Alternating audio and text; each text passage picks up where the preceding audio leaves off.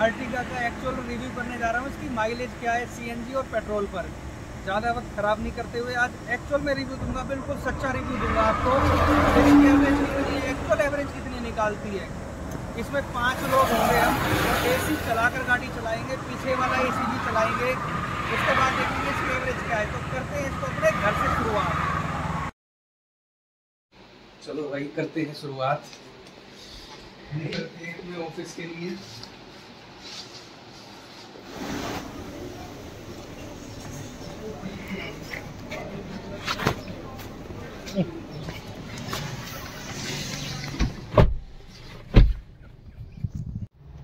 जय श्री गणेश आय नमः।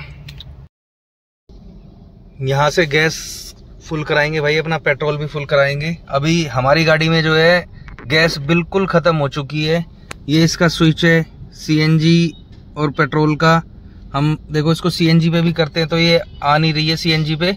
क्योंकि इसमें सीएनजी बिल्कुल ही ख़त्म हो रखी है। अभी ये पेट्रोल पे है, कराते हैं इसकी सीएनजी फुल और करते हैं आज इसकी माइलेज टेस्ट पेट्रोल और सीएनजी दोनों का मैं दिखाऊँगा आपको आज। देखो भाई, बिल्कुल खाली सिलेंडर था, लगवा दिए सीएनजी पर। देखते हैं कितनी आएगी इसमें। भाई, सात किलो छः सौ बयालीस ग्राम। ठीक है जी। भाई, पेट्रोल भी यहीं से फुल करा लेते हैं। अब पेट्रोल भी बिल्कुल ऊपर तक फुल कराते हैं।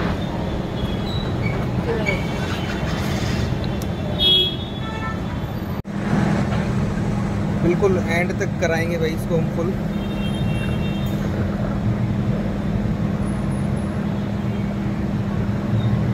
देखो भाई, बिल्कुल एंड तक आ चुका है। पेट्रोल हमें दिखाई दे रहा है बिल्कुल। ठीक है मैम, बस। और ये पेट्रोल आया है हमारा। ये जी, अब हम इसको सीएनजी पे कर रहे हैं। अभी ये सीएनजी पर आ जाएगी। ये आ गई है सीएनजी लिखा हुआ आ गया है। अब हम इसके ट्रिप ए को ज़ीरो करेंगे। ये ट्रिप ए ज़ीरो हो गया है। अब देखते हैं हमारी सीएनजी पर टोटल कितने किलोमीटर चलती है। जय श्री राम। हमारा जो सफ़र रहेगा लगभग 25 किलोमीटर दिल्ली सिटी के अंदर रहेगा, जिसमें कि आपको सबको पता है कि ट्रैफ़िक थोड़ा होता ही है उसमें, और उसके बाद हमें खुला रोड मिलेगा, हाईवे मिलेगा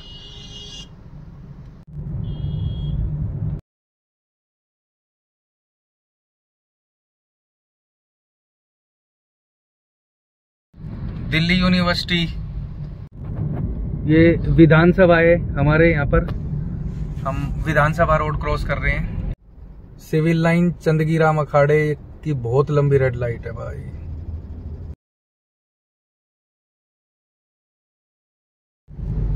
कश्मीरी गेट बस अड्डा I S B T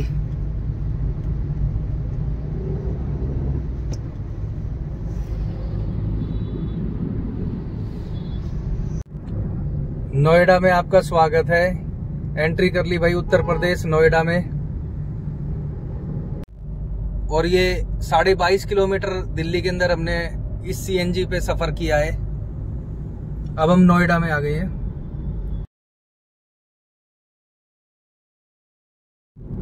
greater Noida स्वागत करता है आपका। यमुना एक्सप्रेसवे और गाड़ी की स्पीड लगभग 95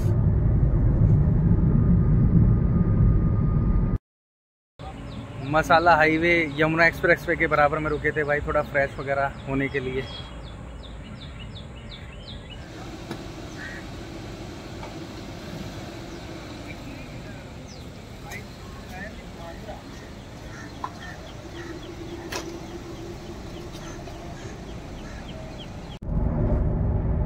चार ब्लॉक रह गए जी सीएनजी के। गाड़ी चली है अभी 85 चल जाएगी वैसे ये, क्योंकि ठंडी होके शायद बैठ गई है गैस। 104 किलोमीटर, अभी भी चार ब्लॉक है भाई सीएनजी के।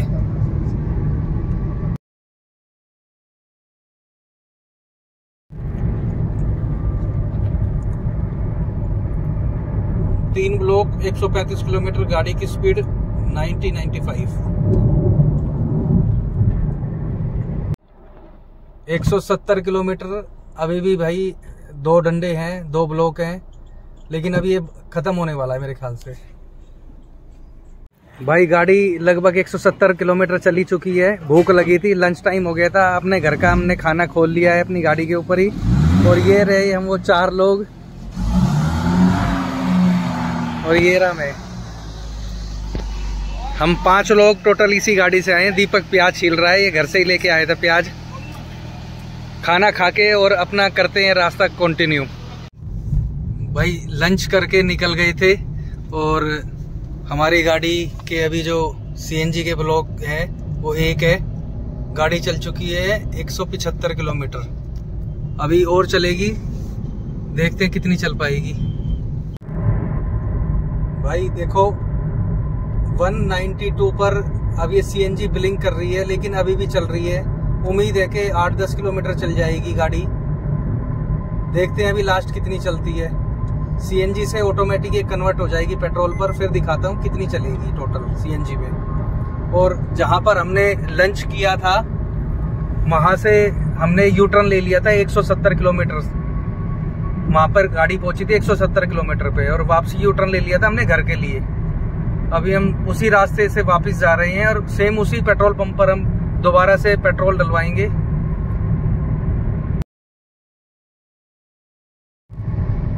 एक सौ निन्यानवे तो हो चुकी है जी, अभी भी सीएनजी पर है। कमाल हो गया भाई, कमाल। पूरी 200 पर पेट्रोल पर कन्वर्ट हुई है जस्ट अभी। और हमारी गाड़ी ने 7 किलो 640 ग्राम में 200 किलोमीटर का सफ़र तय किया है। भाई, आज के ड्राइवर दीपक, इन्होंने ये गाड़ी चलाई है और ये एवरेज इन्होंने ही निकाली है। वैसे बहुत परफेक्ट ड्राइवर हैं ये। और 100 मैक्सिमम 100 तक गाड़ी गई है। नब्बे, सौ के आसपास ही हमने गाड़ी चलाई है, जिसमें कि बाईस, तेईस किलोमीटर सिटी के अंदर चलाई है। और बाकी जो है वो हमने हाईवे के ऊपर ही चलाई है लगभग गाड़ी। और ये अब एवरेज बताते हैं हम आपको। सात किलो पॉइंट छः सौ चालीस। ये गैस आई थी जी, इसको हमारे पास टोटल अब 200 किलोमीटर चली है तो 200 को भाग करेंगे हम इससे ही। उल्टा कर रहे हो आप इसको। भाई, कैलकुलेशन में गड़बड़ हो गई थी 200 को भाग करेंगे सात किलो 640 ग्राम से। तो हमारी एवरेज आई है 26 की 26.17 की, जिसमें कि एसी पर हमारी गाड़ी चली है और कॉन्टिन्यूस पूरे एसी पे ही चली है। आगे पीछे दोनों ही एसी चले हैं।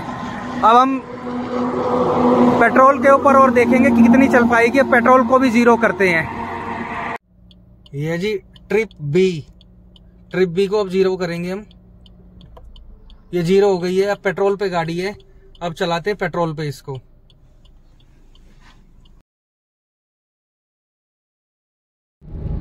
नोएडा एंट्री कर ली।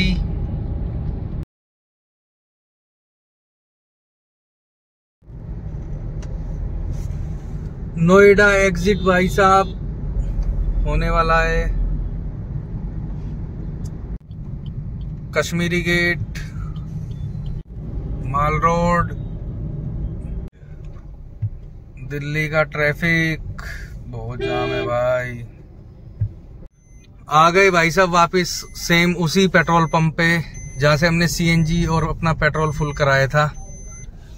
और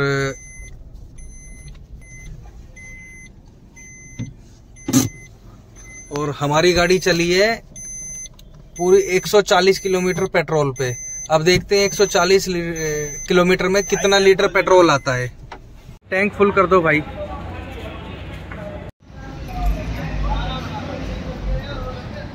चलाओ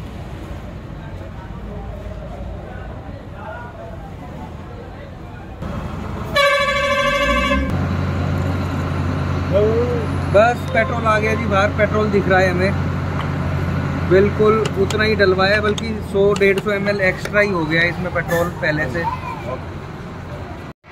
पेट्रोल आया है भाई साहब 8 लीटर और 460 ग्राम।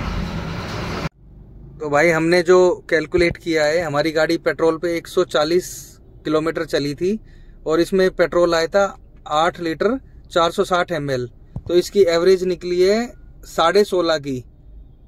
साढ़े सोलह की इसने पेट्रोल पे एवरेज दी है भाई। और हमारा आज का ये रिव्यू यहीं ख़त्म होता है। मिलते हैं किसी नेक्स्ट व्लॉग में।